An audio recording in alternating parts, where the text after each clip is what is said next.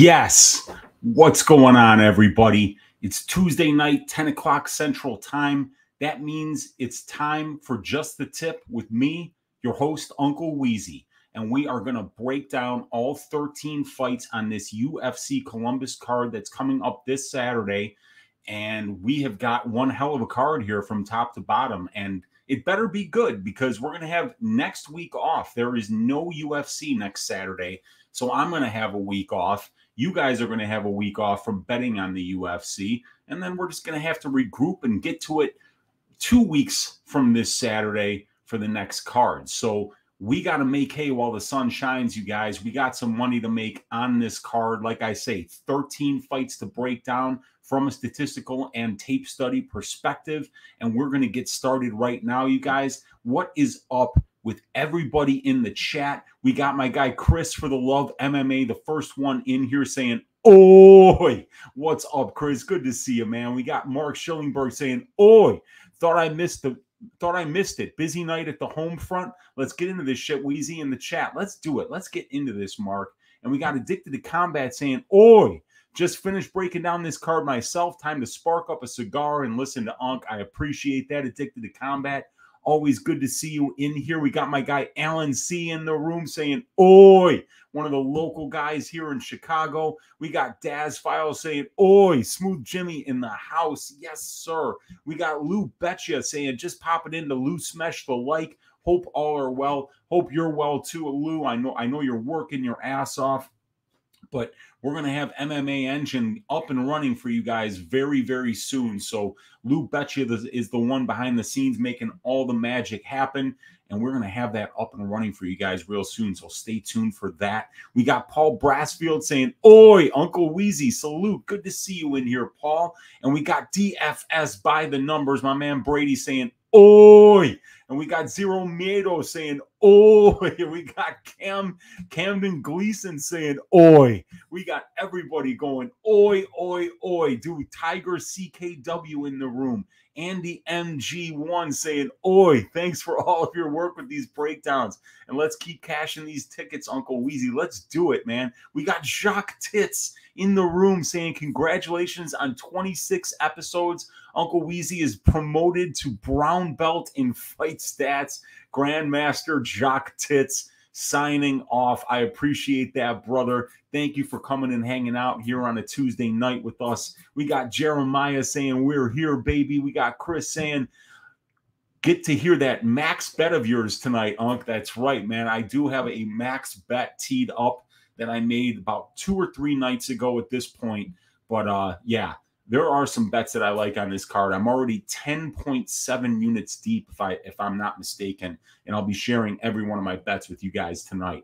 And Luke bet you saying, I have my own nefarious reasons for being happy. There is no card next week. Let me oh God. I mean, you know, I love the UFC. I love creating content. I love doing this for you guys. But man, I'm telling you guys something. When you get eight back to back weeks of UFC, it's hard. It's hard because I, you know, like right when I'm done watching the fights on Saturday night, it's less than 24 hours until I do stat diggers on Pub Sports Radio with Brady. So Brady and I, you know, we don't even get to enjoy if we won some money on Saturday night. We're already researching for what the work that needs to be done tomorrow. So when you got eight straight weeks of UFC, man, I have to keep my head down. My man Brady has to keep his head down, you know, and we've just got to grind it out over and over and over again and just go from Saturday night from the fights right into Sunday on Stat Diggers, where we're going to be breaking down anywhere from 11 to 15 fights every week for you guys. So, um, when when we get a week off, we really look forward to it, and I'm looking forward to this one. Got a lot of other behind the scenes shit that needs to get done. That it's hard to get done when we're creating content. So definitely looking forward to the week off. We got my guy Chad in the room saying, What's up, Uncle Weezy? Let's break it down. Let's do that, Chad. Uh, Justin Villegas saying, When the Dos Equis guy talks about the most interesting man, he mentions Uncle Wheezy. I appreciate that, man, because that is the very, very interesting individual. Uh, Josh Locke saying, What's up, Weezy? Good to see you in here, Josh. Raw Torque saying, Word up, ladies. We got Chad saying, Oi. Hype MMA saying, Oi. Uncle Weezy, blessings on this beautiful night in the Chi. Yeah, it's raining a little bit out there, but yeah, man, it was gorgeous here yesterday in Chicago. And it's springtime coming up. I can't wait for the warmer weather to start visiting us here in Chicago. We got the Cuban assassin in the room saying, Let's go, Weezy. Let's take down one of these tournaments and I'll buy a Keith Peterson cameo for the channel. Dude, that would be so badass. I would love to get a Keith Peterson cameo on this channel, man. That guy is so cool. DJ saying, Oi, what's up? Ung Chicago here, living in New Orleans. Good to hear a Chicago accent in the house. DJ, good to have you, brother. I, I'm I've been to New Orleans quite a few times. I love that city such a fun place to go. Got some friends down there, man. Uh, man, you gotta love, you gotta love New Orleans, man. I have some stories to tell you guys at some point. Well, I don't know if I could tell them on YouTube, but I, I went to Mardi Gras a couple times during my college years, and man, oh man, did we have some fun. Good to see you checking in, DJ. Appreciate it. And then we got the legendary Tits Alternative, says my guy Lou Betya courtesy of Jacques Tits. We got Chad saying I'm deep as well with several parlays. Yeah, there's a lot of parlayable um, uh, favorites on this card. Uh, Scott Brown saying, What percentage of your bankroll is a unit? 1% is one unit in my bankroll. Uh, Luke Fulton saying, the, the, the lines this card seem to have climbed way faster than normal. I'm really starting to look ahead nowadays. Yeah, you do. You've got to look ahead, Luke, because um, when there are favorites, you know, you do see a lot of people hammering these parlays. They have no problem putting together four and five leg parlays where everybody's minus 300.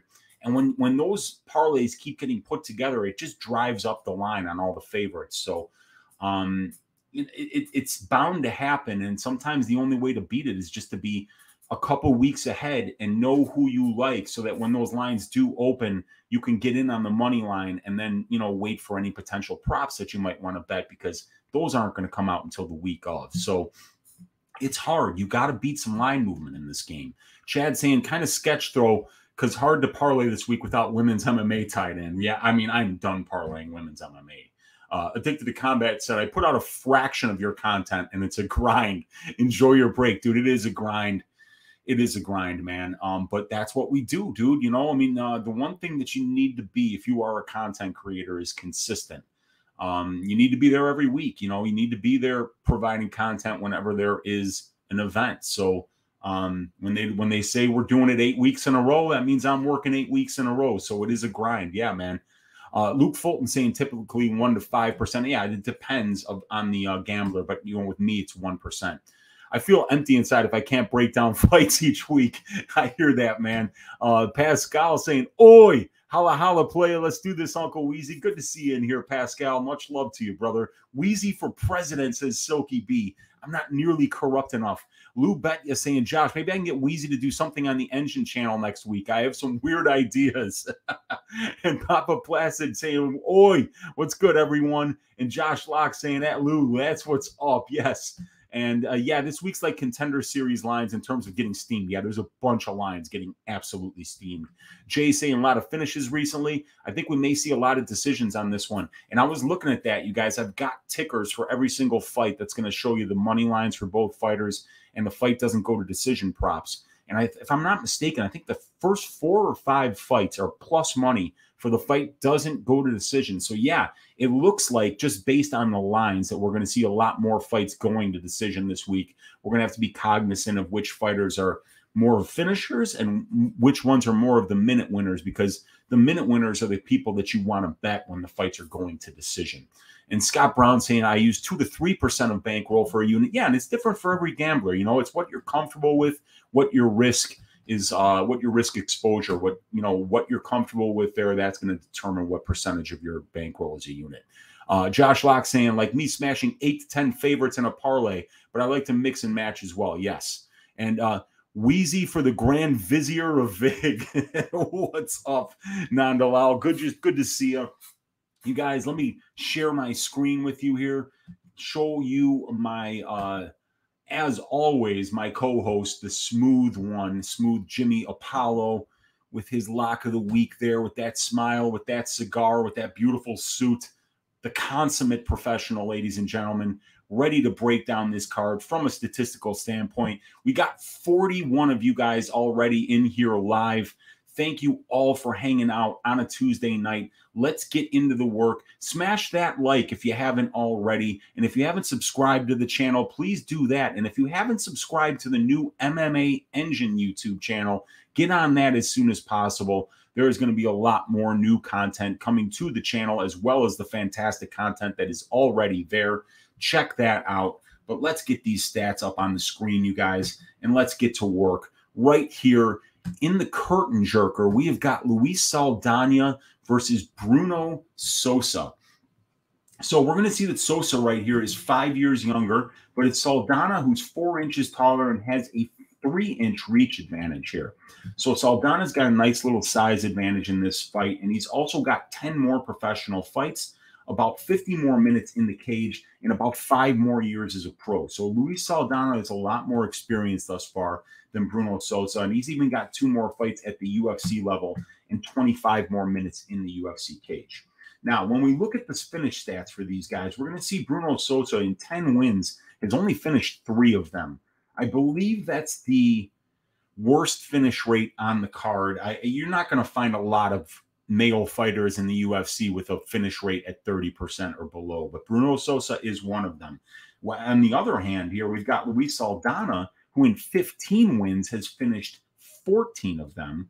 Um, he has finished, it looks like, um, well, it's it's a lot by knockout. So there would be nine by knockout and then five by submission. So uh, definitely, this guy is an equal opportunity finisher. He can sub you, he can knock you out, and he has been finished in three of his seven losses, two by submission and one by knockout. And Bruno Souza in his two losses has never been finished. Now, we don't have much in the way of stats here, you guys, for these two guys, because we've only got three UFC fights for Saldana and only one for Souza. Um, and Saldana's doing a really good job with his striking numbers thus far. He's landing over 1.5 more significant strikes per minute than he absorbs. 50% striking accuracy. He's landed a knockdown in three fights, and he's been knocked down once in three fights. Souza landing 3.07, absorbing five, showing a sub 40% striking defense and a 44% striking accuracy. But, you know, like I said, you guys, um, very small sample size here. We can't put too much faith into the numbers here. Uh, both Saldana and Souza are 0-4 on their um, on their takedown attempts here, 0 for 9 combined. Neither one of these guys is getting more than seven and a quarter percent control time for. And Saldana has been controlled for 19% of his UFC career, which is about eight minutes on four takedowns. Unfortunately, since Souza isn't much of a grappler, we probably won't have to worry about Souza taking down Saldana and winning minutes there. Um, I didn't. I, I had a hard time taping this fight, you guys. If you haven't watched Bruno Souza fight yet, it's kind of hard to stay awake. I mean, the guy is a karate style fighter. He kind of darts in and out, very low volume, um, very boring fights. He kind of just skirts around the outside. I almost fell asleep uh, every time I watched one of his fights. So um, it was really kind of hard to watch him. And then Saldana, I mean, I really love what I see Saldana out of Saldana in the first round. But after that, man, this guy's conditioning might be the worst that I've seen in the UFC. I, I, I don't know if I've seen anybody look as bad in his last two fights, mouth wide open after one round of striking. Um, he had a complete adrenaline dump in his fight against Jordan Griffin, and against in in the Lingo fight, Saldana had his hands on his hips in the third round, was standing right in front of Lingo, couldn't even keep his arms up defensively. So the, the, the conditioning of Saldana, unless it's taken a massive step forward, is you can't bet this guy. You you can't. I mean, uh, I, I just haven't seen conditioning this bad in a very long time, you guys. Um, so this is a fight that's really difficult for me to handicap. Um, but there is one bet that I do like. Bruno Souza couldn't finish a glass of milk, and Luis Saldana has a 93% finish rate in 15 professional wins. So right now, the finish only prop on Bet Online is minus 140 for Luis Saldana. So I put 1.4 units on that, seeing as Souza not much of a finisher, even though Saldana has been finishing three of seven losses.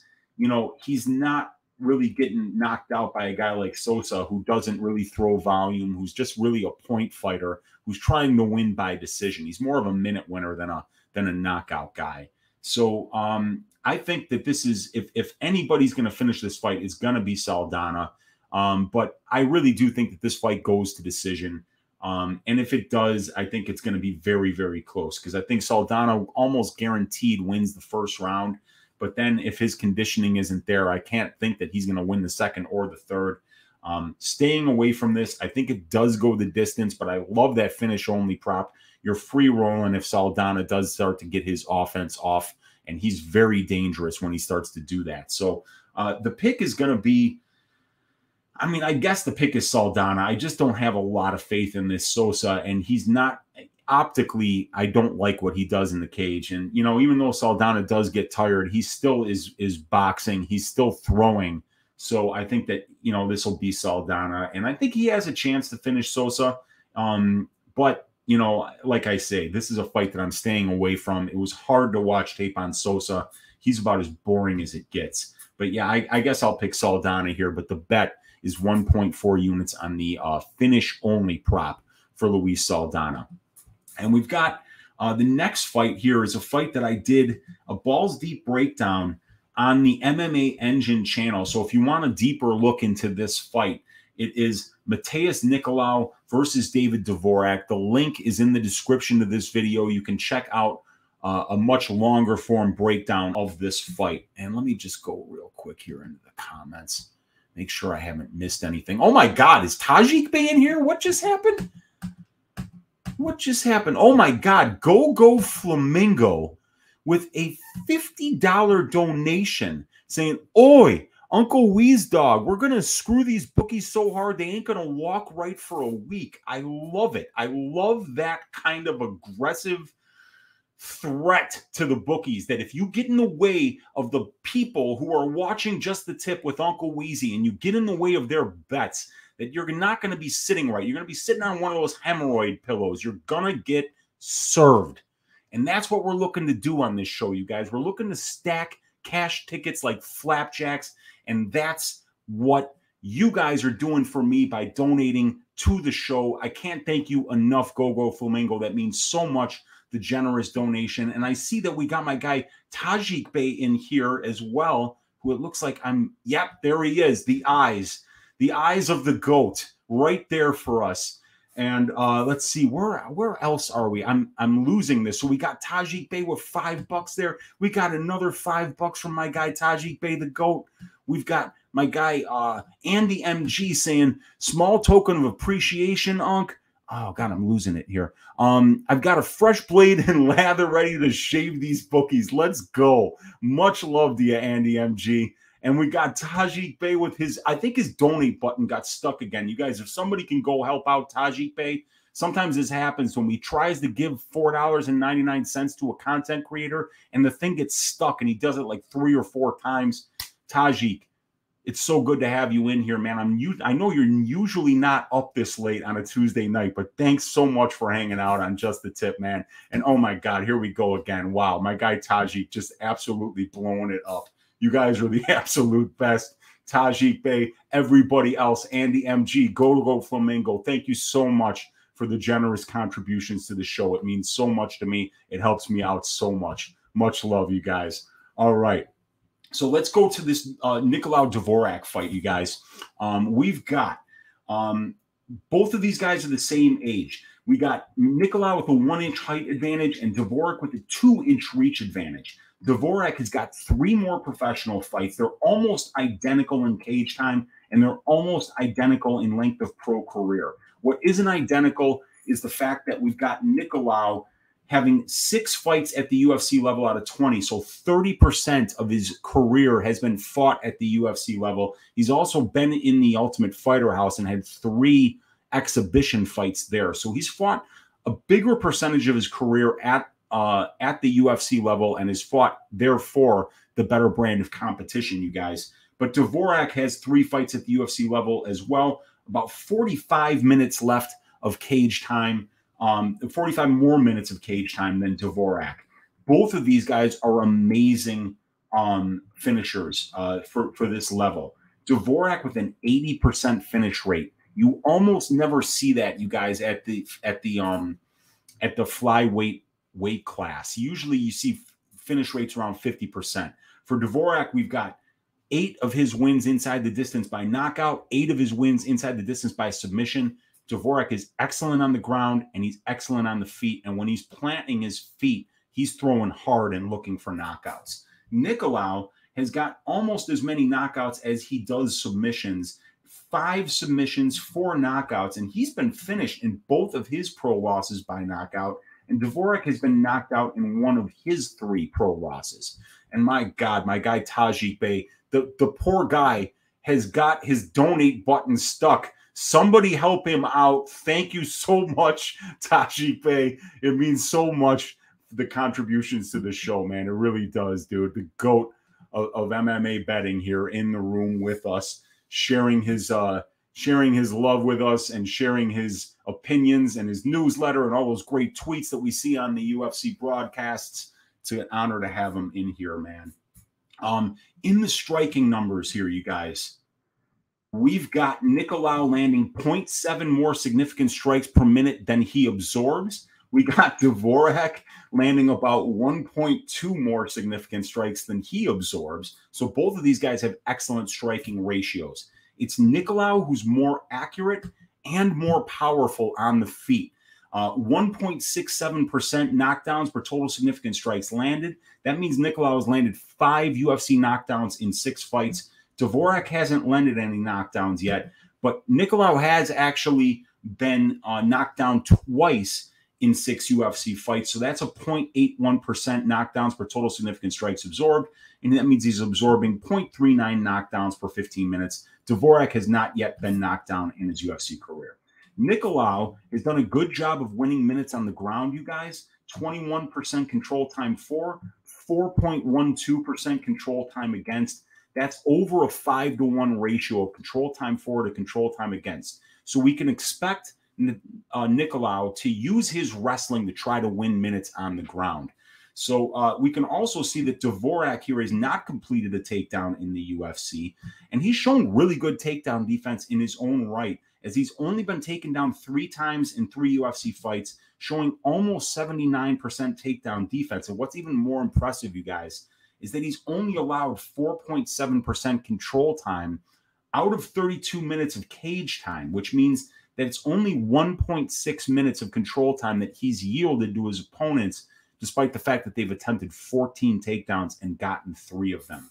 So, as effective as Nicolau has been at winning minutes on the ground, David Dvorak has been very effective in not allowing his opponents in the UFC to win minutes on the ground. And on the feet, it just looks like it's going to be very close.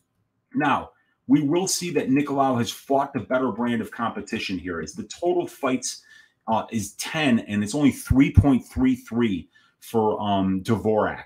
And uh, we've got a 1.14 ratio for Nicolau and a 1.5 ratio for Dvorak. So Dvorak with the better win loss ratio competition, but much less experience. So Nicolau definitely with the um, a strength of schedule advantage here. And in the wins, you see that he's beating guys that have got five wins and 4.4 losses, 9.4 total fights. So he's been, he's beating guys with winning records.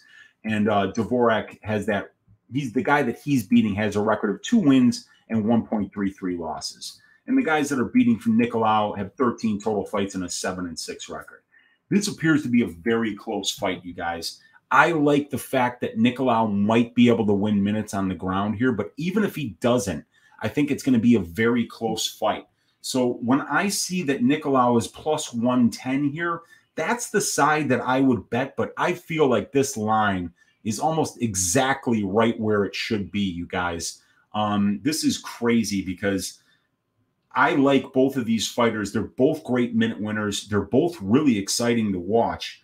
But it's kind of weird that Nicolau's more experienced, that he's fought the better brand of competition, that we've seen him use his grappling to win minutes here, and that we've seen him, you know, use his striking uh, in great leg kicks for both of these guys. But we've seen Nicolau really uh, show some power at the UFC level as well, which we haven't seen from Dvorak yet at the UFC level, with the exception of the Ronderos fight.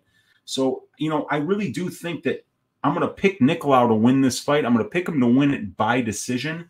And I think that if you look at that decision prop for Nicolau here, which is sitting right at plus 270, um, I think that that's a pretty good look, you guys. And that's how I would bet this fight. So Nicolau by decision is the pick. Plus 270 is a juicy line there. I think this is going to be a very close fight. Can't wait to see it because this is uh, whoever wins this fight is probably going to be top five and is going to be maybe a win or two away from a title shot. So this is a very important flyweight fight going forward. I'm going to pick Matheus Nicolau to win a very, very close decision here, you guys. Um, let me get the next banner up. And we have got one here, you guys. Manon Fiorot going up against Jennifer Maia. So Fiorot is just one of the hottest prospects that we have in the flyweight division right now. And there are quite a few. Um, we've got Casey O'Neill in the flyweight division. We've got Erin Blanchfield in the flyweight division. Uh, we just saw Agapova get derailed by Marina Moroz, but Manon Fiorot is another uh, prospect in this division that's making a lot of waves. She's going to be one year younger than um, Jennifer Maia here, three inches taller, and have a one inch reach advantage. Um, we got Jennifer Maia coming out of Shootbox Monstro and Manon Fiorot out of the boxing squad. So we see that Jennifer Maia has almost 20 more professional fights than Manon. She's got about 250 more minutes in the pro cage and has been a pro for almost eight and a half years more. So a serious experience advantage here for Jennifer Maia. Also, a UFC level experience uh, advantage here. She's got five more UFC fights and about 85 more minutes in the UFC cage. Um, we've got Jennifer Maia with 47% finish rate uh, as a pro, 26% by submission, 21% by knockout.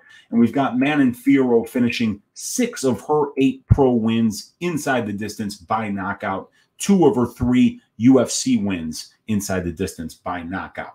Uh, Manon Fiorot has never been finished. Jennifer Maia has been finished twice in eight professional losses. Um, when we look at the striking stats here, let me just get a sip of water, you guys. Mm. All right.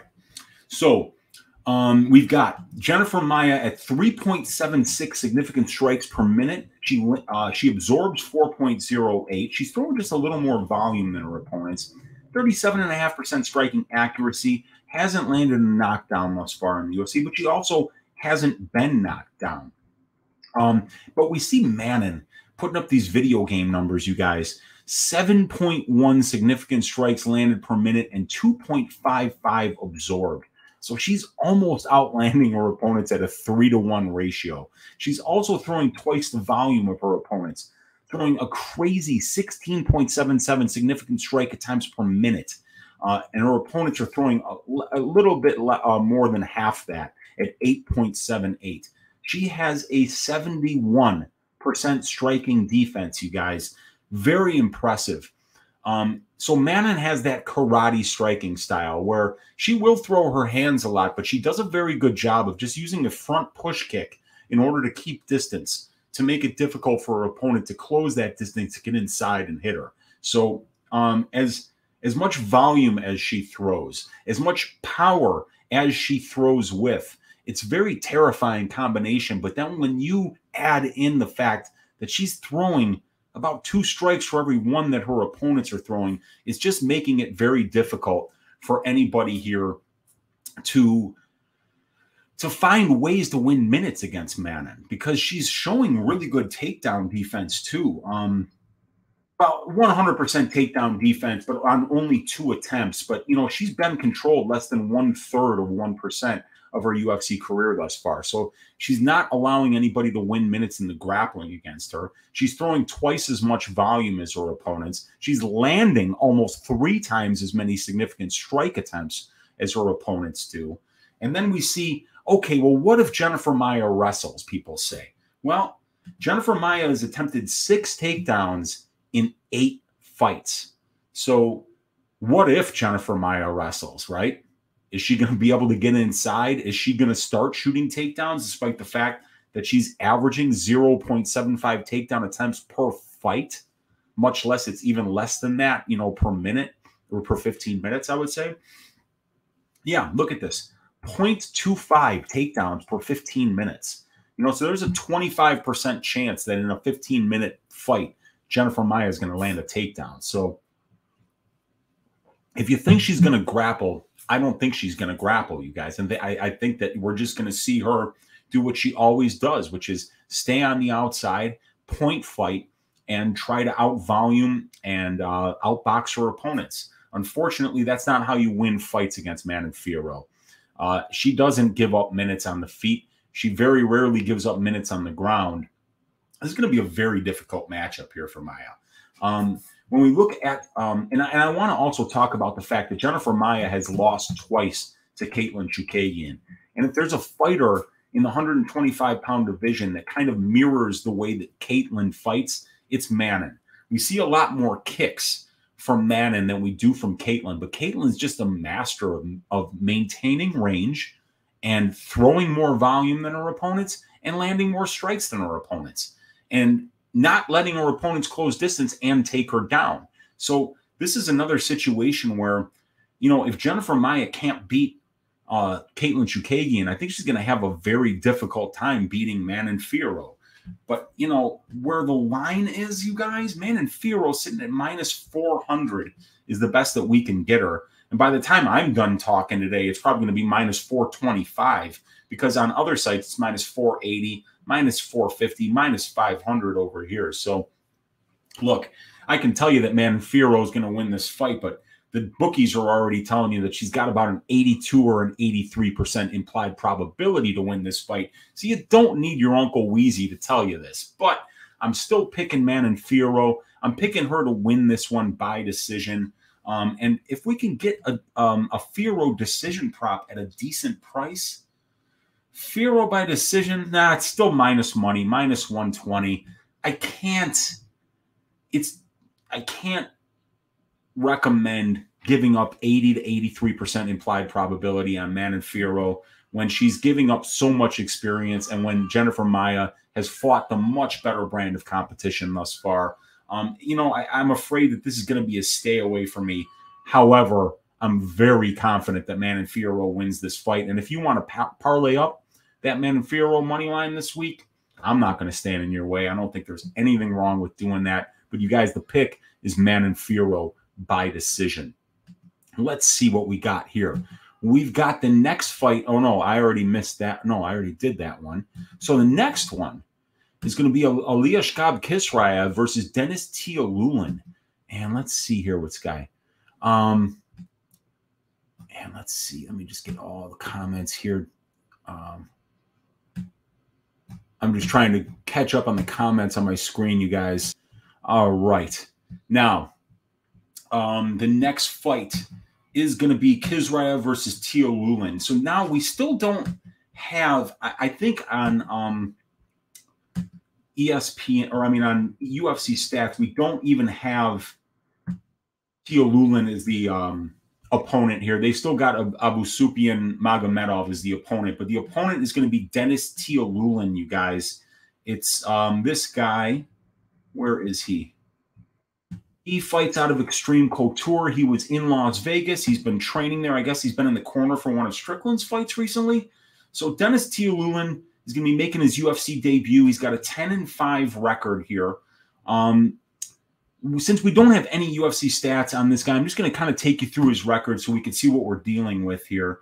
Um, we've got wins against zero and zero, zero and zero. A guy named Max Budesi, uh, who doesn't even have a record there. A two and five guy, a five and three guy, a zero and zero guy, an 0 and 11 guy, a zero and zero guy, a seven and nine guy, and Juscelino Ferreira, 11 and two, and, U- and UAE Warriors, a good win. And then we see the losses to Ikram Aliskerov. Um, Ikram Aliskerov is an absolute stud, you guys. Uh, Jean Patrick, a split decision loss. Um, a loss to Shamalov in M1 4 and 0. um, a loss to uh, Mubak Shoev 4 0, and a loss to Fadakov. So, you know, we see that he's losing to some pretty good competition here, in, in particular, Shamalov, Mubak, Mubarak Shoev, and Aliskerov in particular is an absolute stud. That guy's only loss is to Hamzat Chimaev. And uh, when you watch his wins, he is a pretty terrifying Dagestani wrestler. So um, we do know that Tiuliulin is long. He's a striker first, but when you watch that Aliskerov fight, if you can get a hold of it, it happened in Brave CF 41. Aliskerov absolutely blankets this dude for the entire three rounds. We saw Tiuliulin really get drowned by a wrestling heavy game plan. On the other hand, Khizriev is somebody that we see finishing a ton of fights. You see 50 seconds round one, 58 seconds round one, 28 seconds round one, 251 round one, 39 seconds round one, 335 round one, 50 seconds, 57 seconds round one. So you see him, he's absolutely destroying some of these dudes. And a lot of them are 0 and 0, 0 and 0, 3 and 1, 3 and 2. But you go and you watch the fights against Enomoto, who's a 17 and 9 guy who's fought everybody. He does to Enomoto what Aliskerov did to Tiuliulin here, you guys. Um, we definitely see um, Khizriev is not just a first round knockout artist. He can absolutely employ a wrestling heavy game plan if he doesn't like how it's going on the feet. He's an excellent wrestler. He's an he's excellent at once he gets his takedowns in maintaining position, getting wrist control. He's got terrifying ground and pound and good submissions. This guy Khizriev is is um he's something else, you guys. But we do have one thing to worry about here. Wellington Turman canceled bout. Uh, Turman withdrew in uh, February of 2021. Fight against Daukaus canceled due to pro COVID protocols. Uh, fight against Licio Di Chirico, Khizriev withdrew. Uh, and then this one was against supposed to be against Magomedov, so now it's Tiuliulin taking um, taking uh, that fight.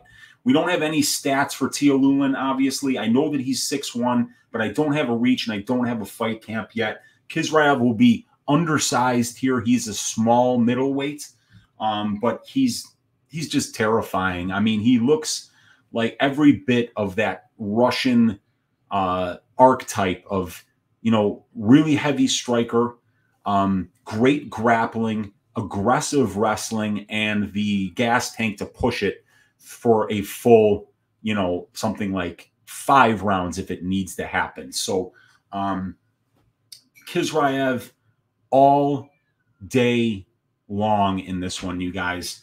Tiuliulin has had problems with grapplers. Um, in in his fight um, one of the ones that you can see on him on the tape index was the one against the guy who had no record, Max Budesi. Max Budesi had a lot of success on the ground against this guy. Now, it was back in 2015, so there's only so much you could take for it. But you can also see Aliskerov to have a ton of success on the ground uh, against him back in 2020. So um, I think Khizriev is either going to knock this guy out in the first round with a heavy uh, body kick or a big shot to the head. Or and if he doesn't, I think he's going to take him down. And I think he's either going to drown him in the first round or he's just going to wrestle fuck him for the full three. But either way, I'm predicting Ali Scare or I'm predicting um uh Khizriev to to absolutely cruise here. Um, all right. Next fight is going to be Chris Gutierrez versus Danaa Batgerel. And it looks like wow 24 plus 25 equals 49. Support MMA community, support Uncle Weezy. My God, dude, you absolutely just carried the channel for an entire month, Tajik Bey. I don't have the words to thank you for how incredibly generous you've been today, man, but it means a lot. I've been with you since the beginning. I remember I remember watching you comment on Locke's videos and, and Clint's videos and way back in the day, man. It, it means so much that you're here supporting the channel, Tajik Bey. I can't thank you enough. I can't thank everybody enough that comes to my channel, watches my videos, big ups that thumbs up button, subscribes to the channel, just watches and contributes uh, contributes. It means so much to me. Thank you guys. Thank you guys so much. Um, so here we go. Gutierrez versus Batgerel. Gutierrez two years younger, two inches taller, and it's going to be Batgerel with a three-inch reach advantage. Gutierrez with a big-time experience advantage, you guys. 23 professional fights to only 12 for Batgerel, so almost twice as much experience here.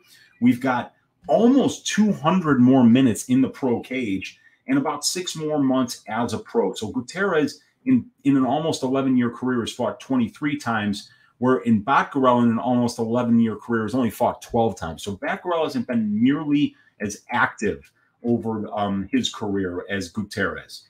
Gutierrez twice as active, really, and three more UFC level fights and about 75 more minutes in the UFC cage for Gutierrez. So he's two inches taller. He's got a big experience advantage here. Um, Batgerel, the much better finisher, 80% finish rate as a bantamweight in 10 wins. While for Gutierrez, it's 47%. So that's eight of his 17 wins coming inside the distance, seven of them by knockout, one of them by submission. In these guys' six combined losses, only one of them has been inside the distance. Um, the striking numbers. Both of these guys have absolutely fantastic striking numbers. Gutierrez landing 4.63 and only absorbing 2.5. That's a 2.13 significant strike differential there. Um, almost 60% striking accuracy for Gutierrez, which is excellent. And he's got three knockdowns in seven UFC fights. That's averaging out to 0.48 knockdowns per 15 minutes. He boasts 63% striking defense and has never been knocked down. Now, Batgerel, 6.28 landed and only 2.73 absorbed. So not nearly as accurate, but a lot more powerful as he's landing a knockdown on 2.29% of the significant strikes that he's landing. And that's averaging out to 2.16 knockdowns for 15 minutes. So otherworldly power, you guys, for Danaa Batgerel here in the uh, bantamweight division. He's never been knocked down, and he also has a striking defense that's north of 61% here at 61.22%. Now, in 11 combined fights, these guys have combined for three takedowns, and Gutierrez has gotten all three of them. So neither one of these guys, excuse me for a second.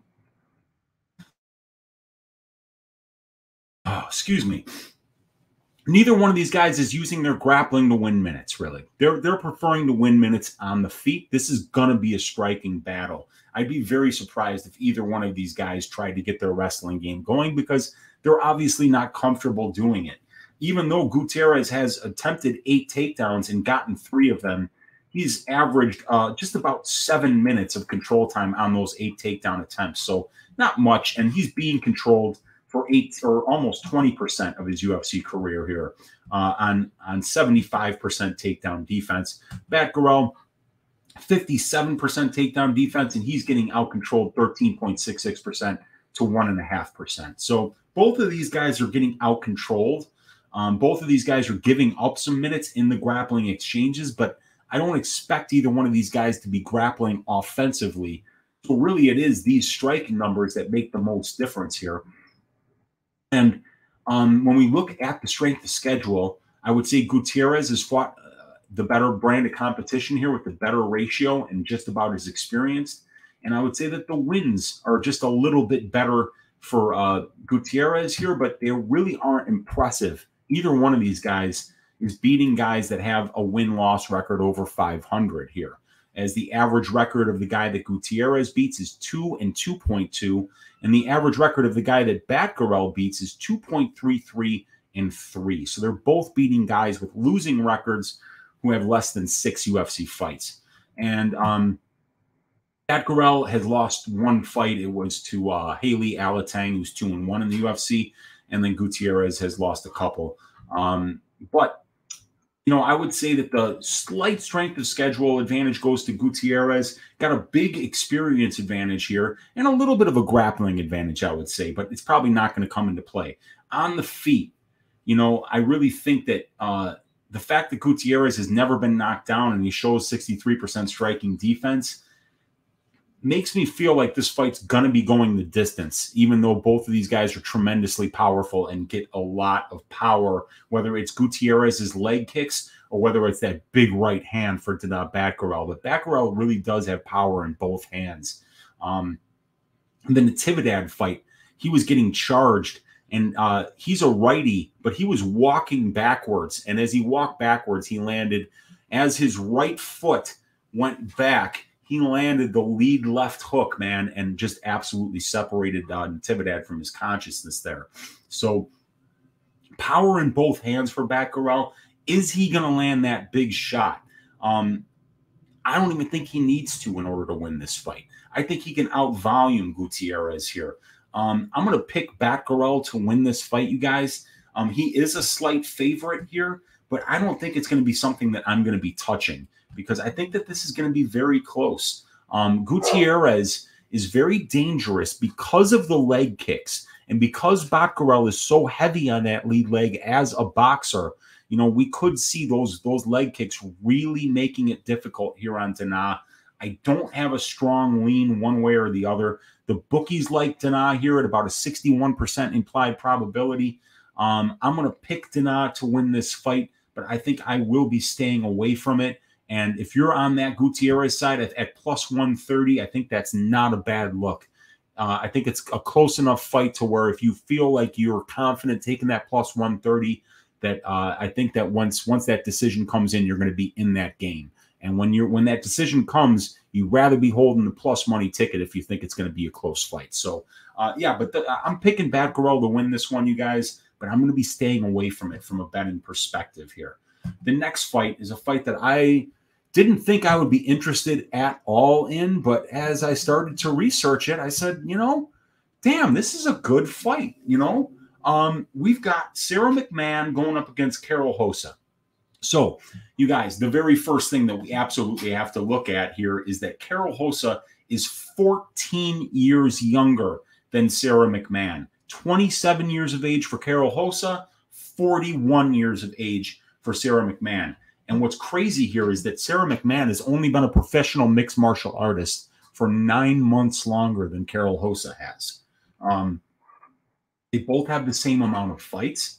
Uh, it's Rosa who actually has an experience advantage here in the pro cage, having 43 more minutes in the pro cage than Sara McMann. Um, but Sara McMann, eight more fights at the UFC level and a lot more time in the UFC cage. For some reason, there's something wrong with my um, Sara McMann stats here. I'm going to have to reload them at some point because I don't have exactly what her cage time here is, but uh, it's a lot. 12 fights. Um, either way, uh, it's going to be Rosa, who actually has a little bit of an experience advantage here. And I'd say that she has the tail of the tape advantage here because she's 14 years younger and has a one inch reach advantage. Um, it's going to be McMann, who's the better finisher at 50% compared to 40% for Rosa. And both of these ladies are getting finished too, as McMann has been finished in 83% of her six losses, and Rosa has been finished in 67% of her three losses. So um, that would be seven of nine losses coming inside the distance here for these two ladies. That makes the fight doesn't go to decision bet very interesting, in my opinion. Um, the striking numbers. McMann lands about as much as she absorbs. She's way more of a wrestler. She doesn't really win fights with her stand up striking. Um, she does have um, one knockdown in 12 UFC fights, and she's been knocked down twice in 12 UFC fights. Rosa is putting up some fantastic striking numbers here, landing 7.88 per minute and only absorbing 5.17. She throws way more volume than her opponents do, uh, throwing 14.37 per minute, and her opponents are throwing 10.5.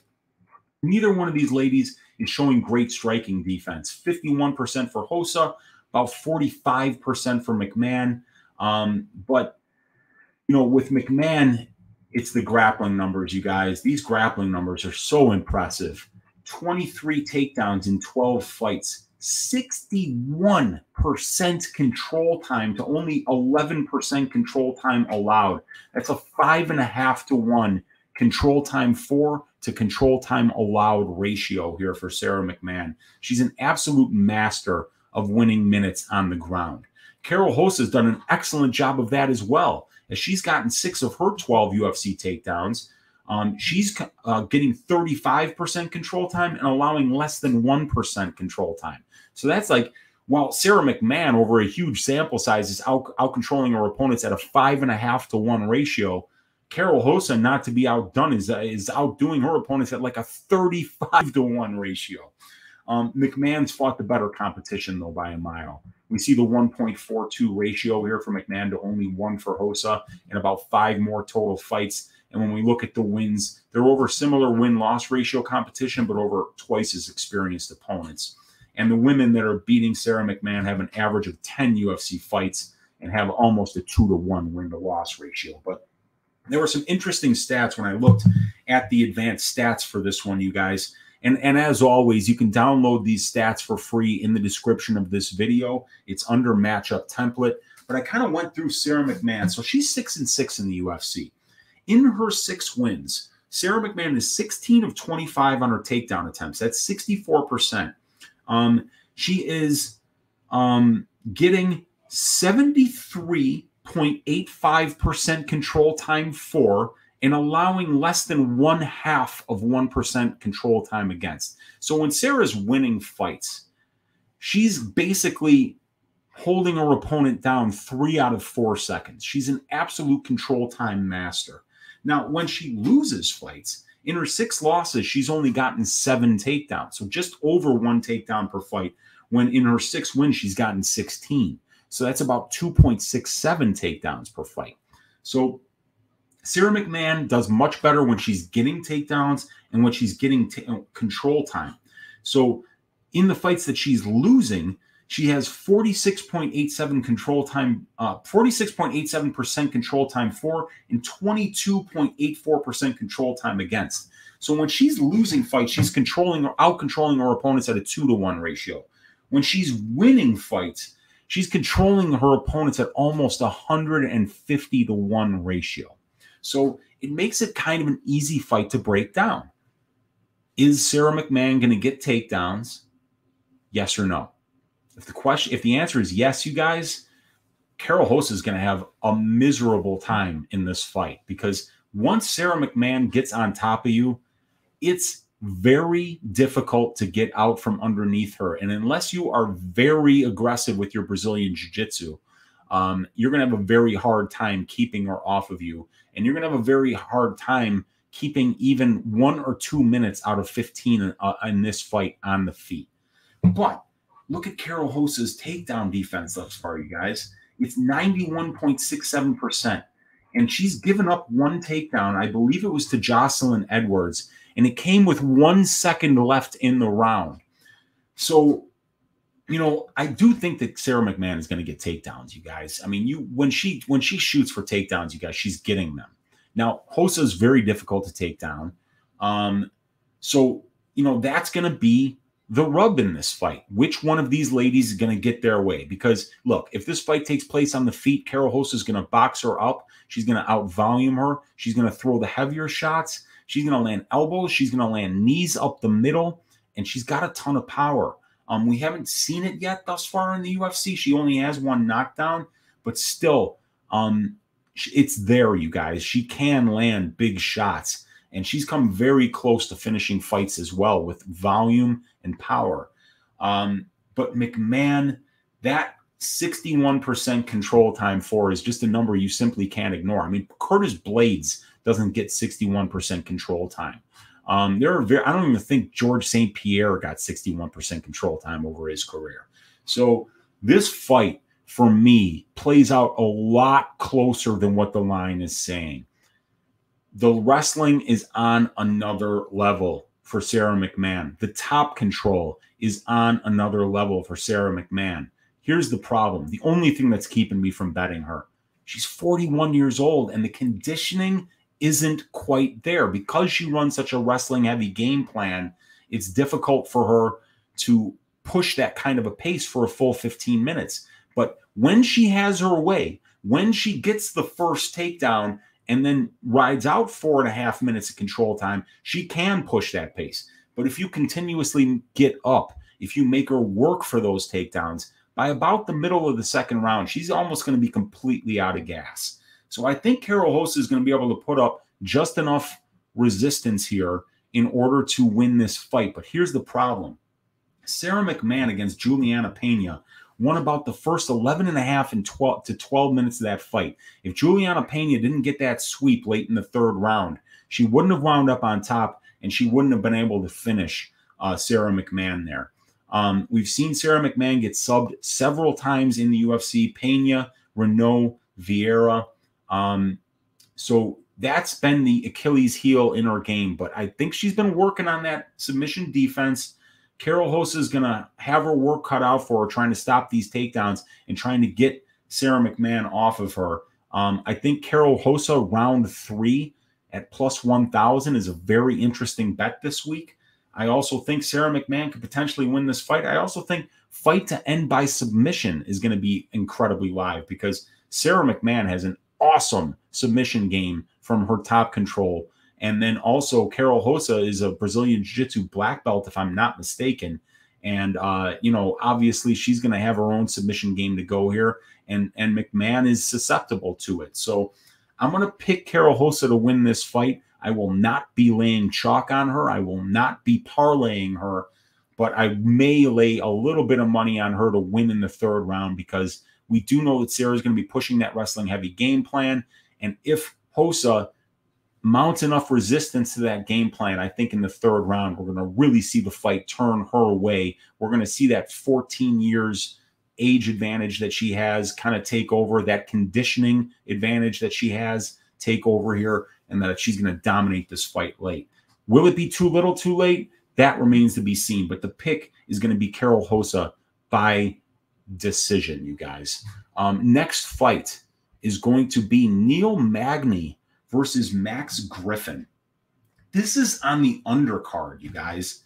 I mean, what a great fight to be on the undercard. Matheus Nicolau versus David Dvorak on the undercard. Jennifer Maia, who just fought for a belt two fights ago against one of the hottest prospects in the division in Fiorot, is an undercard fight. Khizriev, who's a very exciting prospect, undercard. Gutierrez against Batgerel undercard. This is a great card from start to finish, you guys. Um, and and what a way to finish off an eight week stretch here of the UFC. I mean, finish it off on this one. Then we get a week off, and then we get right back to business, you guys. Um, so Neil Magny is actually going to be the younger man in this fight at uh, 34 compared to 36 for Griffin. He's going to be four inches taller and have a four inch reach advantage. So a nice little tail of the tape advantage here for Magny. Obviously, there's going to be an experience advantage as well for Magny, as he's got almost 150 more minutes in the pro cage, seven more pro fights, but it's been Max Griffin who's actually been doing this about a year longer. Magny has 13 more fights at the UFC level and about 170 more minutes in the UFC cage. So we got a nice tail of the tape advantage here for Magny. We've got a nice experience advantage here for Magny. Um, it's going to be Griffin who's the better finisher here at 61% to 40% for Magny. And it's going to be Griffin who's much more durable here as he's only been finished once in eight professional losses, as Neil Magny's been finished in six of his eight losses. So, uh, yeah, definitely a durability advantage here for Griffin and um, a finishing advantage. A more uh, he's the better finisher.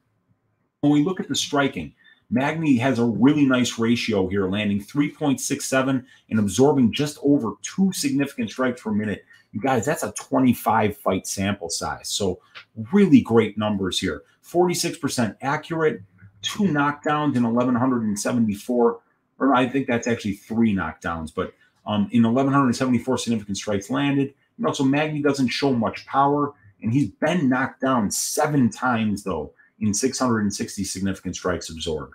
So uh, Magny not as durable as Griffin here for sure, and it's going to be Griffin who has the power advantage, and he also lands more significant strikes than he absorbs. So when it comes to the striking, you know, obviously Magny's not a power guy, but he's definitely a volume guy.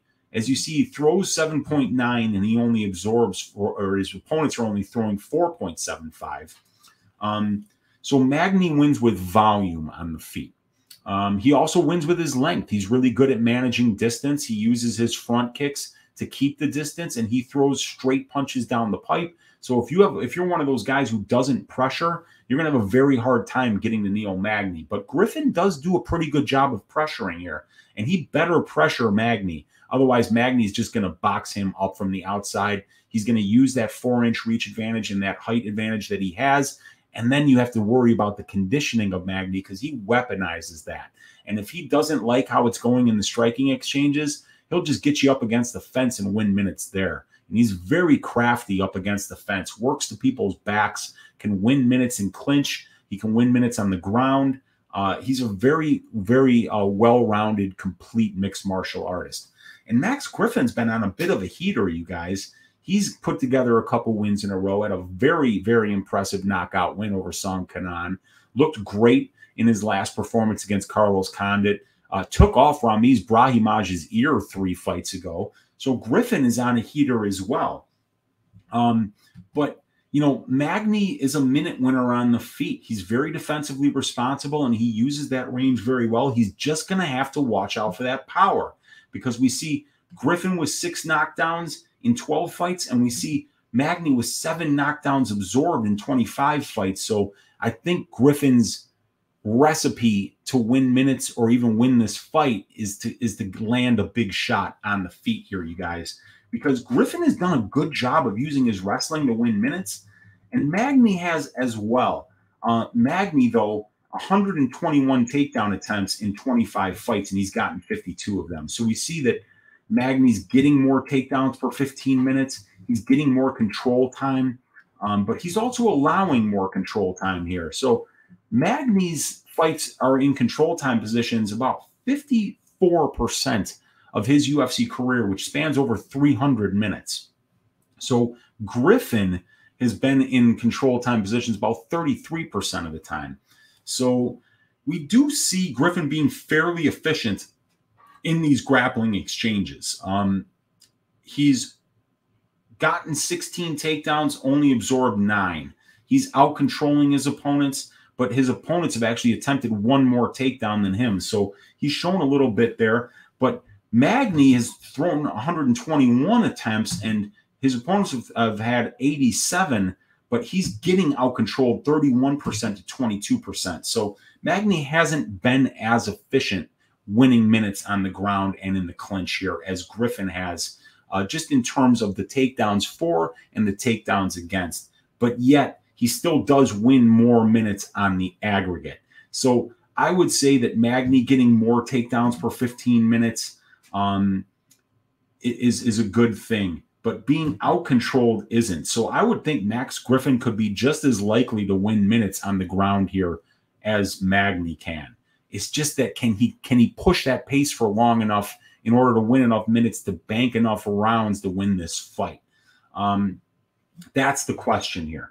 When we look at the strength of schedule for these two guys, we see a better ratio and more total fights for Magny here, and we see a better ratio in the wins and a, a good amount more total fights here in the ratio. So strength of schedule advantage for Magny, size advantage for Magny. He's younger than Griffin here. He's more experienced. He's got the better conditioning.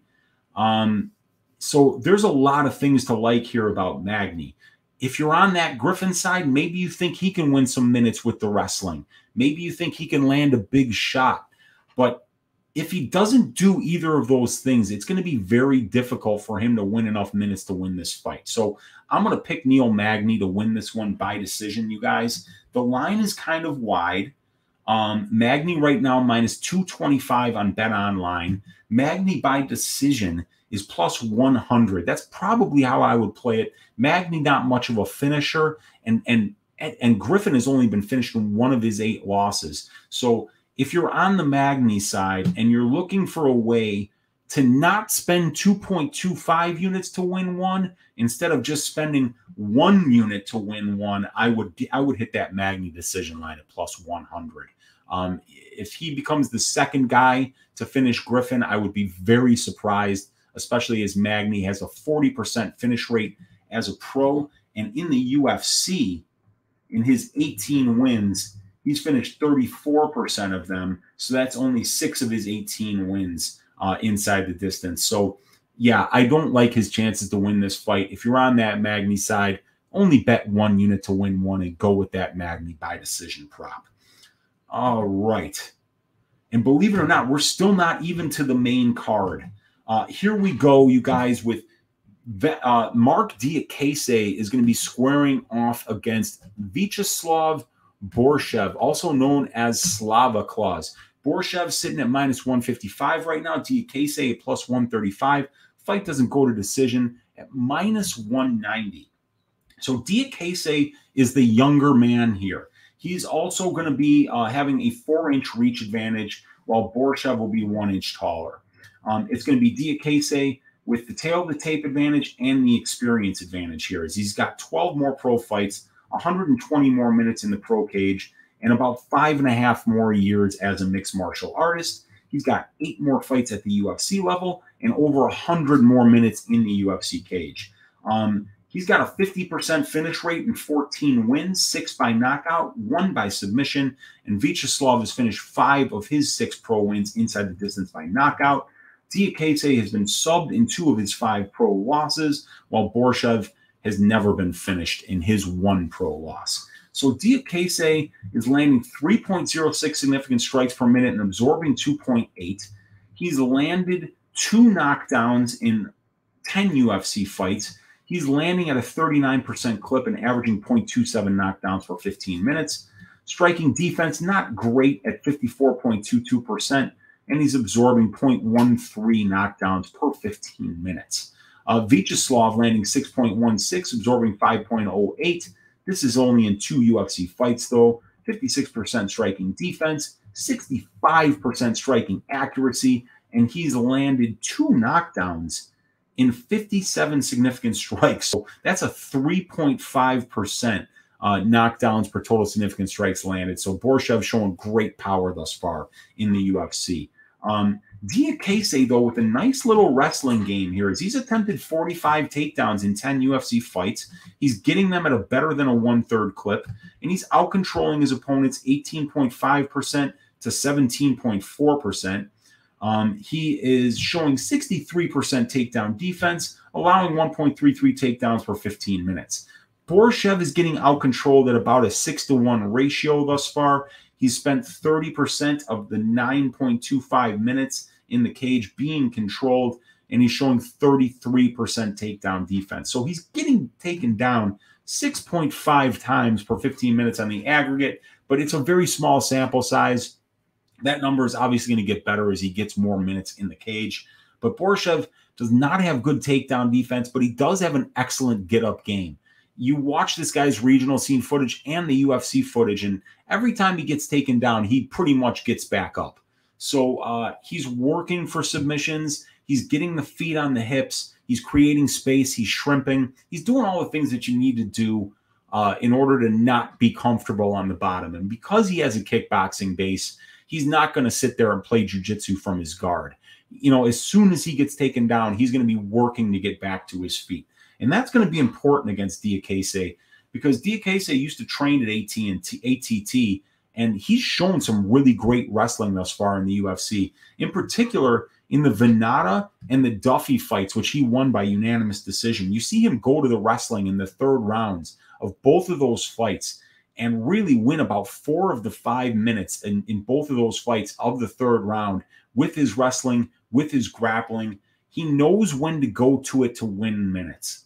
So, um, as much as of, of, a fan as I am of Borshchev here, when this line came out, Borshchev was almost minus 200 and Diakiese was sitting at plus 170. So I actually bet three quarters of a unit at on Diakiese at plus 170 because that line makes no sense. He's younger. He's longer. He's more experienced. He has more UFC level experience. He's beaten the better competition. He's fought the better competition. He's won three rounds with guys like Fiziev. Um, he's a better grappler. He's a way better grappler and a way better minute winner on the ground. And I can't even guarantee that if this fight's on the feet, that Borshchev is going to be any better than Diakiese there. As spectacular as Borshchev has looked in the regional scene, and at the UFC level thus far, go back and watch what Diakiese was doing before he got into the UFC. He had two title fights in Cage Warriors where he knocked his guy out in less than one minute in a five round fight with one singular right hand. He has got explosive KO, KO power just like Borshchev does. He's literally better everywhere and you can't even make an argument to say that he's that much worse in the striking. As a matter of fact, you can make arguments to say that he is the better striker in this fight. So, as much as I like Borshchev, as live as he is on the feet against a guy like Diakiese, Diakiese plus money is something that I have to uh, say is the is the side here, and I'm going to pick Mark Diakiese to win this fight by decision. You guys, um, that gets us here to the main card. Um, we've got a dude with a fire hydrant for a head in Ilir Latifi sitting here at minus 190 against a 44 year old man with 76 professional fights in Aleksei Oleinik, you guys. This, I mean, like, there are some questions out there in the universe that never really seem to get answered. You know, I mean, like, uh, if a tree falls in the forest and nobody's there to hear it, does it make a sound? You know, what came first, the chicken or the egg? You know, and I guess the other question that we're going to find out hopefully on Saturday is can you choke a man who doesn't have a neck? We're going to have to stay tuned until Saturday to find out, you guys. But here we go Ilir Latifi against Aleksei Oleinik one of the most bizarre stylistic matchups that I can remember in some time that doesn't include a fighter like Ryan Hall or just some guy that's a complete, you know, wild card. So, all right. Latifi is 38, Oleinik is 44. It's going to be a four inch height advantage for Oleinik and a seven inch reach advantage here. Uh, Oleinik fighting out of Russia and it's Sweden for Latifi. Um, we've got a 100 professional fights between the two of these guys. Um, we've got about 170 more minutes in the pro cage for Aleksei Oleinik here. He'll be getting his 400th minute of pro experience in this fight against Ilir Latifi. Um, we've got a 25 year career for Aleksei Oleinik here and almost a 14 year career for Ilir Latifi. One more UFC level fight and about 20 more minutes in the UFC cage for Latifi here. So definitely an experience advantage for Oleinik, a tail with a tape advantage here for Oleinik, but he's six years older than Latifi. Uh, Latifi, 67% finish rate. Uh, Aleksei Oleinik has got a 92% finish rate, you guys, and that's in 59 professional wins, 78% by submission. So let's just do the math. 59 times 0.78 and that is 46 career wins by submission for Aleksei Oleinik. What a number. And if he wins this fight, you guys, that'll be his 60th professional win.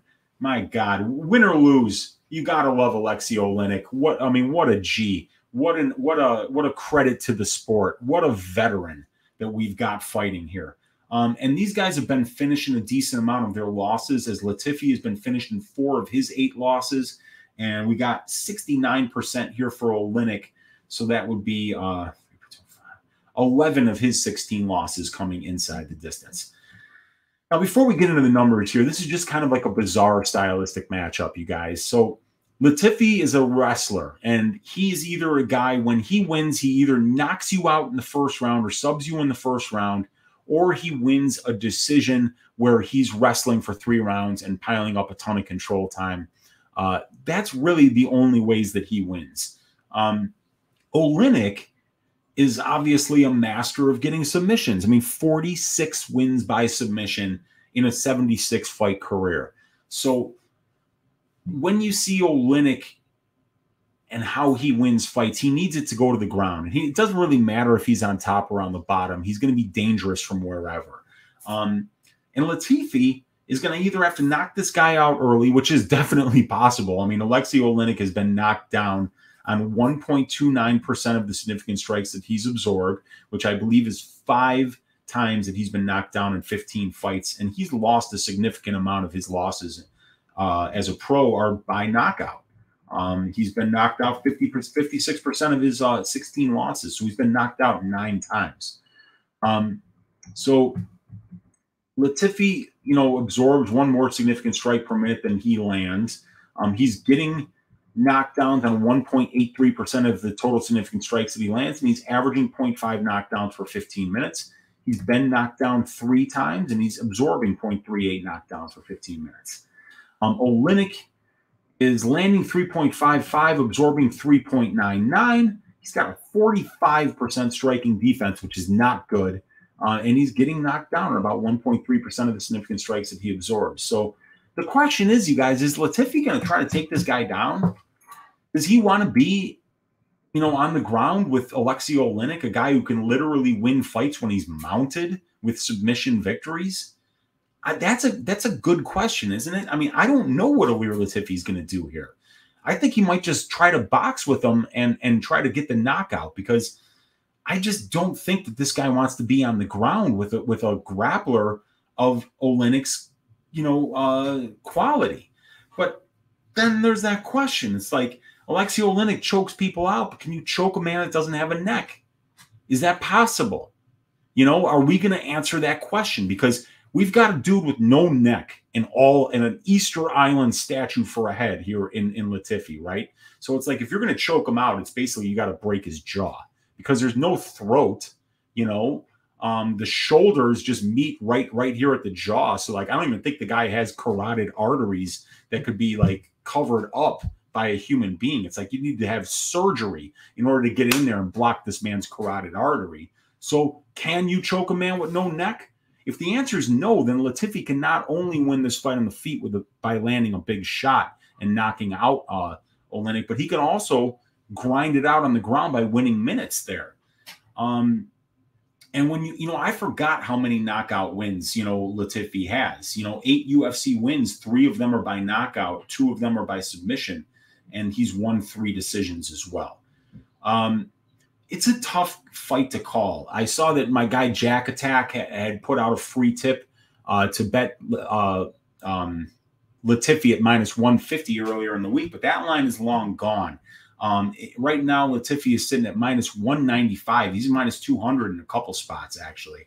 And we got the comeback at plus 170 on Aleksei Oleinik boy, I mean, this is a bizarre fight, you guys. I don't even know what to say because I don't know if Latifi can survive on the ground with Oleinik. I don't know if he can win a boxing match with Oleinik when he's at a seven-inch reach disadvantage here.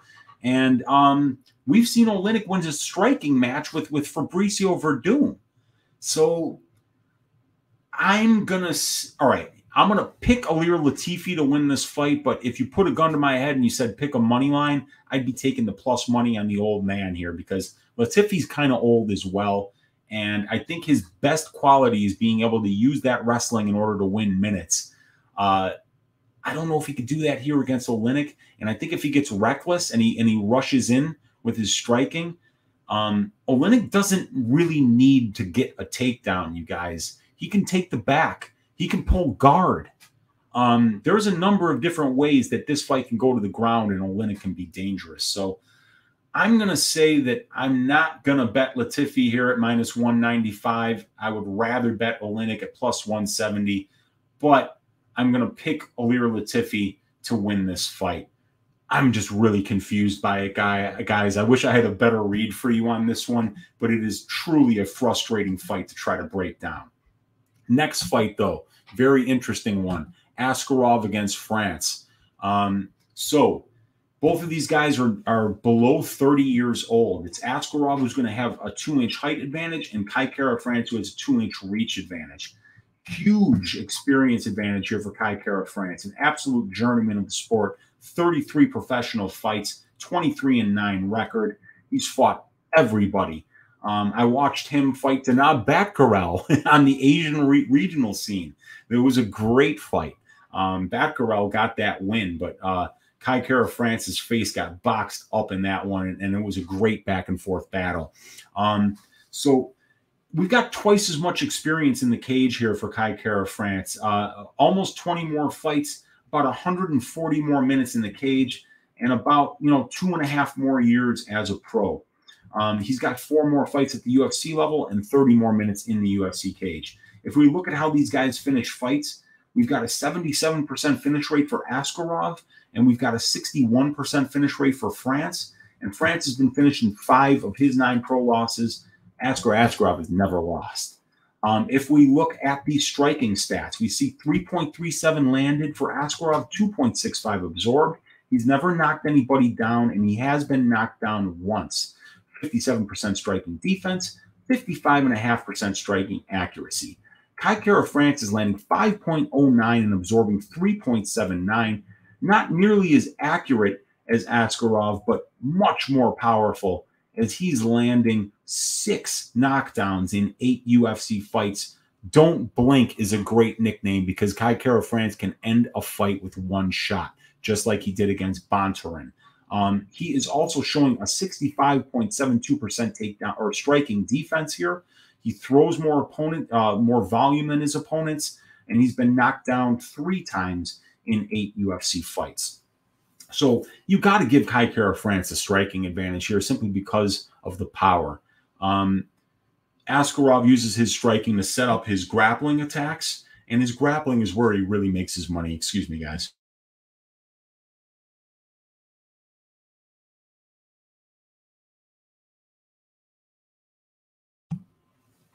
All right.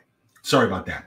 So, um, you got to give Kai Kara France the, the advantage on the feet here because of that power and the fact that he throws a lot more volume. Um, but it, it's Askarov who's spending a much higher percentage of his fight in control time positions, right? 48% of his fights taking place in control time positions. He's out controlling his opponents at about a two to one ratio here, getting 2.75 takedowns for 15 minutes and absorbing 1.25 takedowns for 15 minutes. He's been taken down five times uh, and he's allowed 17.86% control time. Now, for France, he's got three takedowns in eight fights. He's getting 13.5% control time, only allowing 10.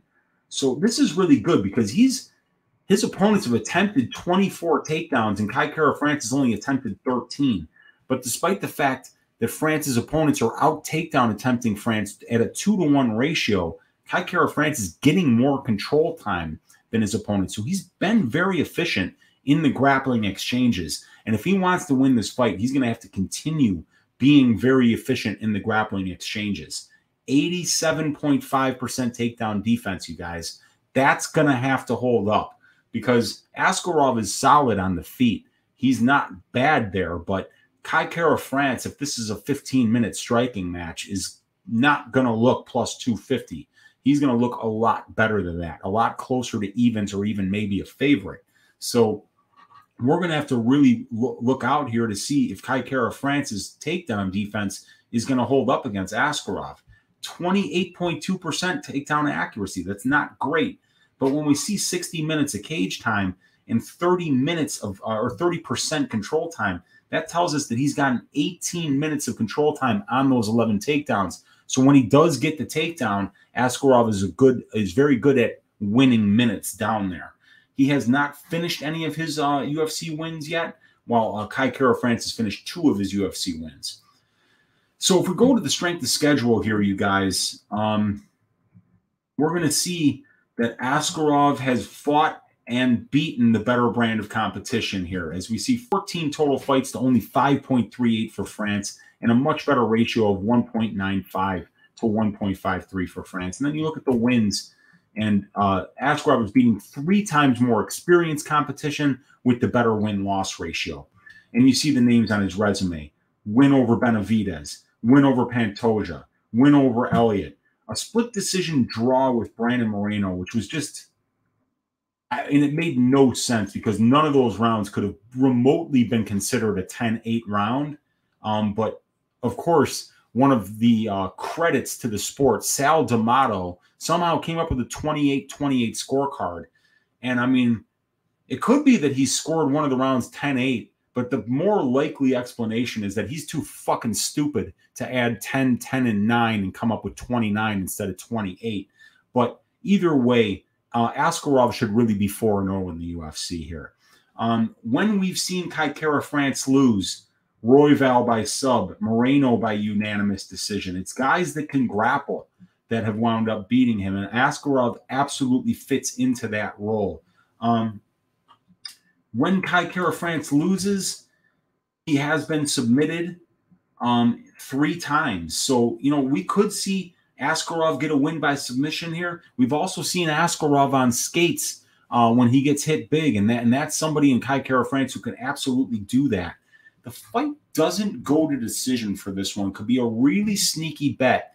It is at plus 155 right now on Bet Online, you guys. I could see a path for Askarov to win this one by submission. I could see a path for Kai Kara France to win this one by knockout if he winds up keeping this thing on the feet.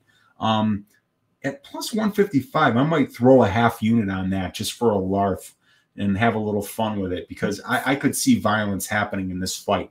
But we've got Askarov sitting up here around minus 350. The money's still coming in on him here at minus 350, plus 285 on the comeback for Kai Kara France. Um, the Askarov submission prop sitting north of plus 300 here. The France by KO prop sitting north of plus 700. Um, those are both very interesting props here. Uh, fight doesn't go to decision. France by knockout, Askarov by submission are all some plus money ways to play this fight that I think you can make some money if you if you get on the right side. But I have to pick Askar Askarov in this one. Um, I think he'll be able to survive the striking exchanges on the feet and win enough minutes in the grappling in order to stay safe uh, to potentially get this thing to the ground, get a submission, or win a decision here. But uh, the pick is going to be Askar Askarov, you guys. All right. And now let's see. Oh boy, we got some violence coming up here, you guys. Bryan Barberena versus Matt Brown. And uh, this is going to be such a great fight. Uh, two all action fighters who, between the two of them, have really never even been in a boring fight. Can't wait to break this one down for you guys. Bryan Barberena, nine years younger here. Uh, they have the, they are the same height, and it's going to be Brown who has a three inch reach advantage. Orthodox versus Southpaw matchup. That means the power uh, weapons of both of these guys are going to be open for business. Straight right, the right uh, kick for Brown, the the the left for Barberena, and the big left body kick. Um, we've got Brown with a 17 fight advantage here and about 50 more minutes in the pro cage, and he's been doing this about four years longer. 15 more UFC level fights and 100 more minutes in the UFC cage. So a three inch reach advantage, uh, a 17 fight advantage, a 15 UFC level fight advantage 100 more minutes in the UFC cage. Lots of light there, but remember, Bryan Barberena is nine years younger. Uh, both of these guys are fantastic finishers. 75% finish rate for Bryan Barberena, um, 91% finish rate for Matt Brown. 21 of 23 wins inside the distance for Matt Brown here. And in terms of how these guys get finished, we got a 73% finish rate inside the distance for Matt Brown and a 38% uh, uh, finish rate against Barberena here in his eight losses. So five of eight losses inside the distance for Barberena and 66, 73%. So 13 losses of 18 for Brown inside the distance. So so that would be 13 and 6 is 19 of 26 losses inside the distance. So both of these guys win and both of these guys lose inside the distance, the violence prop for this fight is a great bet. Um, when we look at the striking numbers, we see that Brown, over a huge sample size, lands one more significant strike than he absorbs per minute. Uh, he throws almost one more significant strike attempt per minute than his opponents throw. 55% striking accuracy. He's landed 10 knockdowns in 28 fights, and he's been knocked down, I believe, eight times in 28 fights. Um, we see Barberena landing 5.44, absorbing 4.77. Not a good striking defense at 45%, but he has not been knocked down much. Uh, three times in 765 uh, significant strikes absorbed and in 13 fights. So it does it does look like Brown's more powerful, but it also looks like Brown is more chinny here. Um, but it is going to be Brown who's more defensively responsible and has the better significant strike ratio to the to significant strikes absorbed. Now, when we go to the grappling side, this is where it's interesting. Uh, 58% takedown defense for Bryan Barberena over a 13 fight sample size, and he's getting control more than 25% of his UFC career. So he's allowed 40 minutes of control time on those 36 absorbed takedowns. So he is a guy that's pretty easy to take down and hold down. Brown as well as he only has 64% takedown defense and he's allowed 35% control time over a 28 fight sample size. So, I mean, that's like 90 minutes uh, of control time on 42 takedowns absorbed for Brown. So Brown is even easier to control on the ground than Barberena is. But the problem here is, is that Brown averages 1.49 takedowns per 15 minutes, while for Barberena, it's less than 0.2. So I think that this fight's going to be very close on the feet. We know how what bad intentions Matt Brown has on the feet here. But I think that Brown being able to win minutes in the grappling here and being the far more willing wrestler, um, that as 50 50 as I see this fight being on the feet, I do like Brown's ability to be able to win minutes on the ground. Um, and he's been able to do that. Um, you would expect him to be out controlled by the amount that he's getting out controlled by because his opponents have attempted two times as many takedowns as he has. So the fact that he's getting out controlled by less than a two to one ratio shows he's pretty efficient here. Um, Barberena has, you know, been taken down 36 times and has only gotten two takedowns, but you know he's been efficient because he's getting 10% control time and only allowing 26. So I think it's a very close fight. I don't like the fact that Matt Brown is 41 years old here, but it's going to be a war. And, you know, this is a hometown fight for Matt Brown. Um, you know, and every fight that Matt Brown fights from now on could be his last. So I'm looking for this guy to come out, go balls out, try to finish this fight. And if he doesn't, he probably will get finished. I think that this fight's going to finish inside the distance, you guys. Um, when we look at the strength of schedule numbers here, um, we see a better ratio for Bryan Barberena, but more total fights for Matt Brown. Um, and when we look at the wins, they're better, a little bit better for Brown here, as the average win for Brown is 6.31 wins, 4.7 losses. And for Barberena, it's 4.14 wins and 2.71 losses. All right. And then both of these guys are losing to absolute studs, but for Bar- Barberena, it's even better with a 2.47 win to loss ratio. So I like Brown's ability to be able to land the bigger shots here. And I also like Brown's ability to be able to potentially win minutes. Uh, I'm going to be picking Matt Brown to win this fight inside the distance in the second round by knockout, you guys. Um, that brings us to our co main event, which is Joanne Wood against Alexa Grasso. We got Grasso sitting up here at minus 235. Wood, the comeback, plus 200. Fight doesn't go to decision at plus 195. So the the bookies are absolutely expecting this one to go the distance. Uh, Grasso, eight years younger, and she's going to have a one inch reach advantage here. Joanne Wood, though, with uh, six more professional fights, about 55 more minutes in the cage in about two and a half more years as a pro here. She's also got six more fights at the UFC level and about 50 minutes in the UFC cage more than Alexa Grasso. 40% finish rate for Joanne Wood and a 31% finish rate for Alexa Grasso. Uh, Wood has been finished in four of her seven professional losses by submission, and Alexa Grasso has been finished in one of her three professional losses by submission. That means that five of the combined 10 losses of these ladies have been inside the distance, and they've all been by submission. But the fact that neither one of these ladies gets submissions is a good way to tell that this fight probably does go the distance, as neither one of these ladies is really knocking people out at this level. Um, and neither one of them is losing inside the distance by knockout, only by submission. So that's why that this thing is so juiced for the fight goes to decision here. Um, if we look at the aggregate numbers, really nice here for Wood. She throws a lot of volume. Uh, she lands 6.71, only absorbs 4.55, and she throws a lot more volume here at 13.43 significant strike attempts per minute, while her opponents are less than 10 at 9.56. So 52% striking defense is not good. 50% striking accuracy is very good, though. And three knockdowns in uh, 1,028 significant strikes isn't bad for a bantamweight. Alexa Grasso has never knocked anybody down. She's less accurate and she throws less volume in uh, in with she throws uh, Wood's got a better ratio of significant strikes attempted to significant strikes uh, thrown by her opponents here.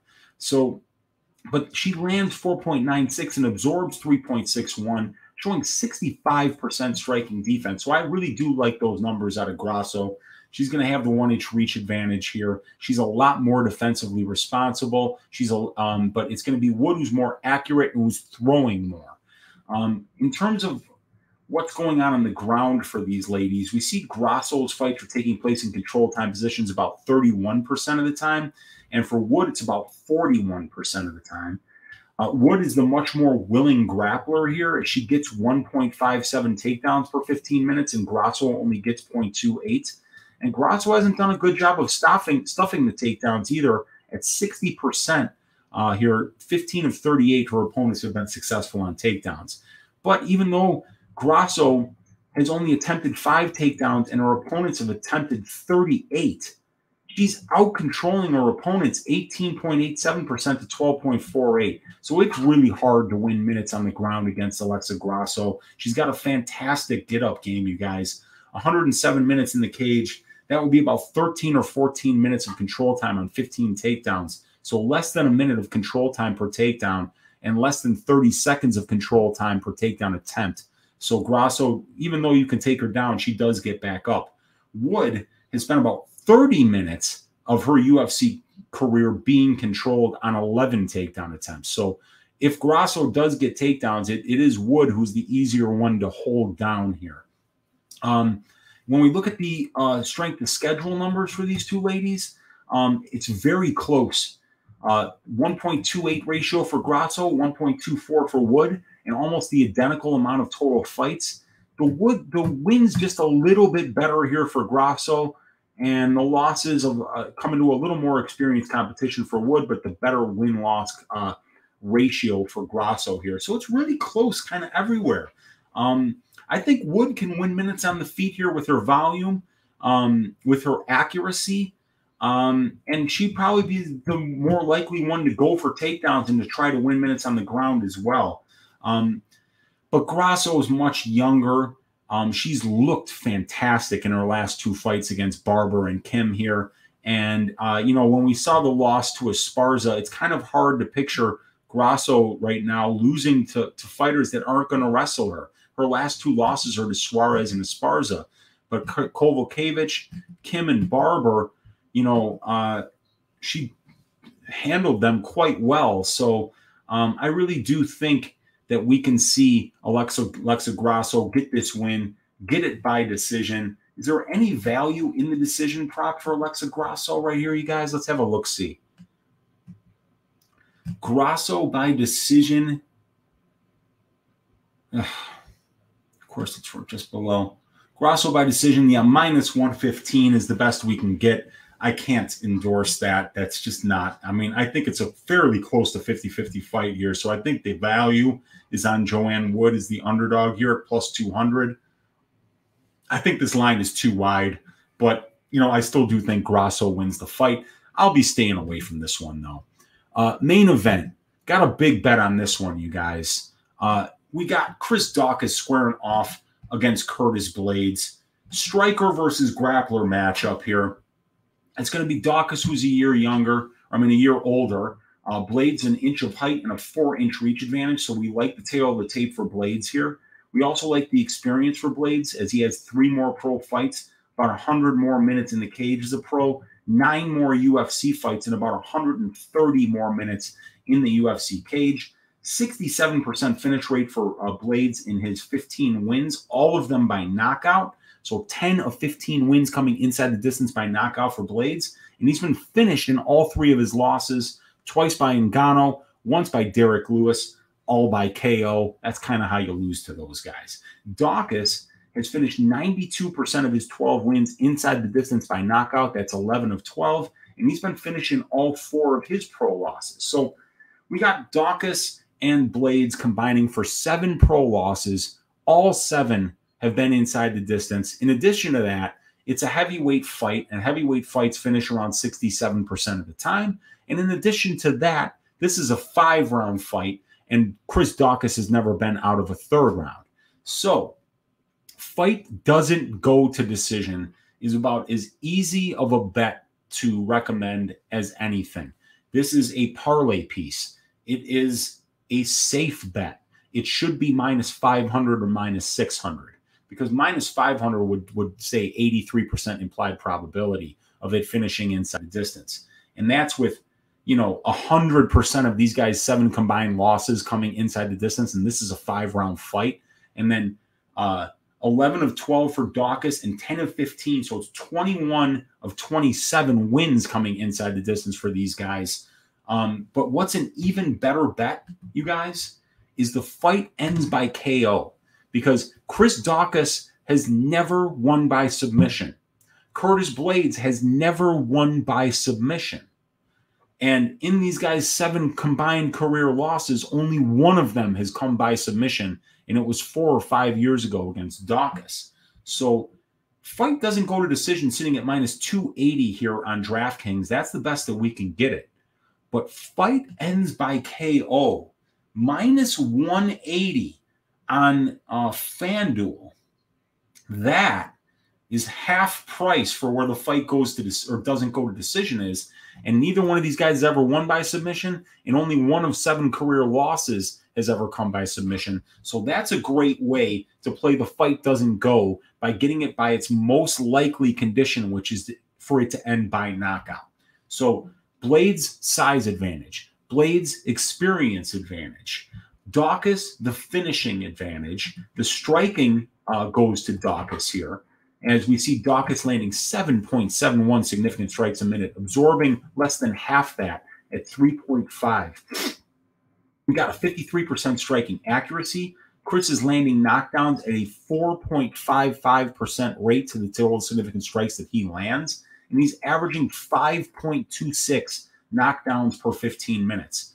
Blaydes lands 3.44 and absorbs 1.65. So he's landing twice as many significant strikes as his opponents as well. Um, he's just a little less accurate and a lot less powerful on the feet than Chris Daukaus but is showing just under a 60% striking defense. Both these guys have been knocked down.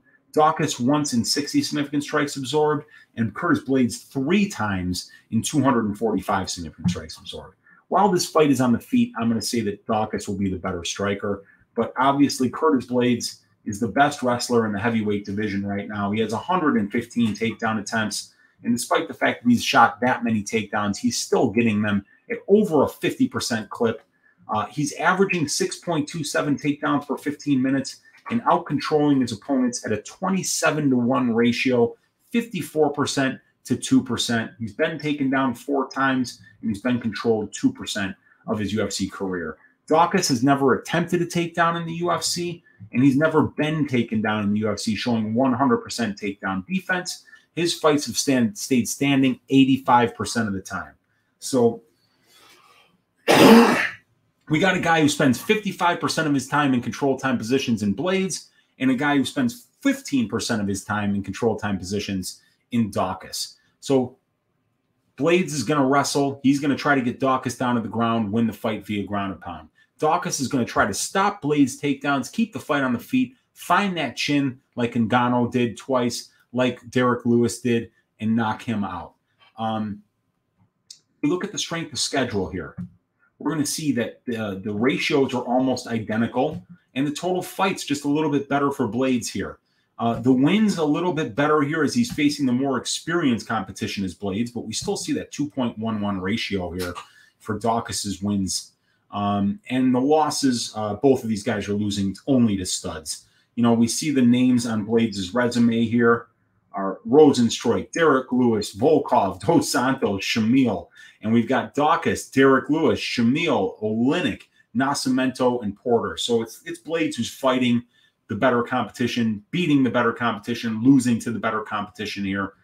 It, it just comes down to whether Chris Daukaus can stop these takedowns. Because if he can stop these takedowns, he's probably going to find Blaydes' chin at some point. And when he does, Blaydes is going out. He's been knocked out before. He's been knocked down.